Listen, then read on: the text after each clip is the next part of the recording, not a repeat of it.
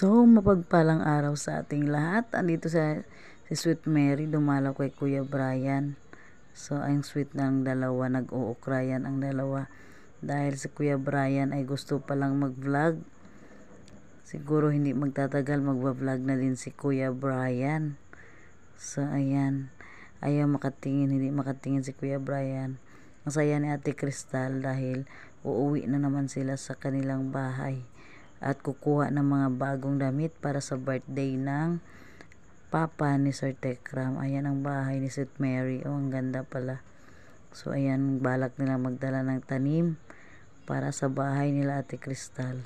Bumili muna sila ng mga pagkain para magmumukbang sila doon sa bahay nila Ate Crystal. Magsangyup sila. So, ayan na. Andiyan na sila sa bahay nila Ate Crystal. Ayan. Ang saya ni Ate Janet dahil nakita niya mga picture ni Sweet Mary at ni Kuya Brian sa aparador nila tatlo ni Ate Crystal.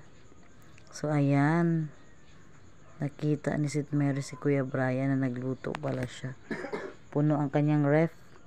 May mga gulaman. At merong ice candy.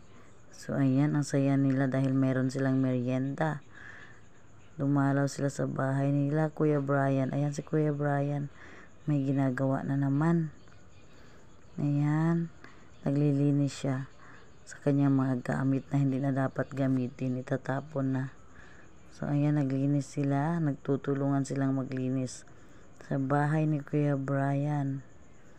Ayan, si Kuya Brian, maglilinis muna. Tatapon na niya ang hindi na niya magagamit.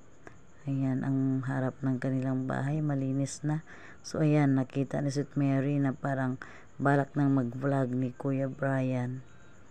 So, ayan, mahiya pa si Kuya Brian, pero hindi yan magtatagal. Magba-vlog na rin siya. So, ayan, nagpa-practice na yan siya. Dito na lang ating